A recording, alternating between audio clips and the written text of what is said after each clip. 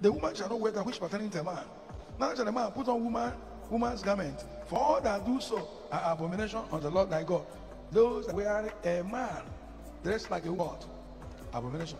A woman dressed like a man is what? Abomination. And now that does this thing can never I'll show you. They are abomination. And they can never enter heaven. But there is something you need to know. I read last week.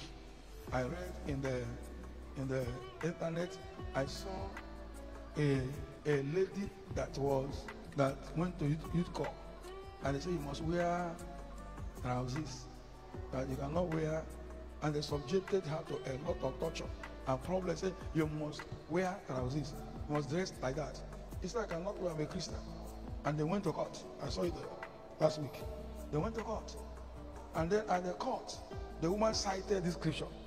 The lady said my bible said a woman shall not put her paternity a man a man shall not and as they took note of this that was how judgment was delivered. And then awarded her five million naira and they sent her to go and wear your skirt and blouse because you cannot offend your god. They gave her five million naira.